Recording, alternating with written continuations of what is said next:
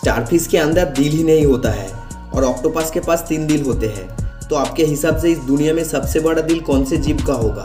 देखिए, दिल का काम होता है ब्लड को पंप करना और ब्लड ऑक्सीजन और न्यूट्रिशन को कैरी करता है।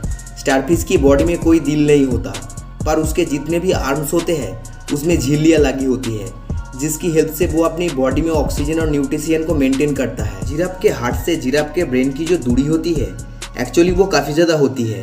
जिराफ के दिल को बहुत ज़्यादा कम करना पड़ता है, इसीलिए वो बहुत स्ट्रांग होता है।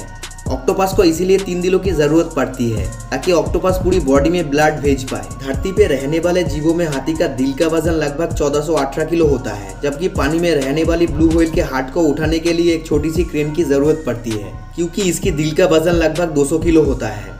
बाकी आपके हिसाब से इंसानों के दिल का वज़न क्या होगा? कमेंट करके ज़रूर बताएँ।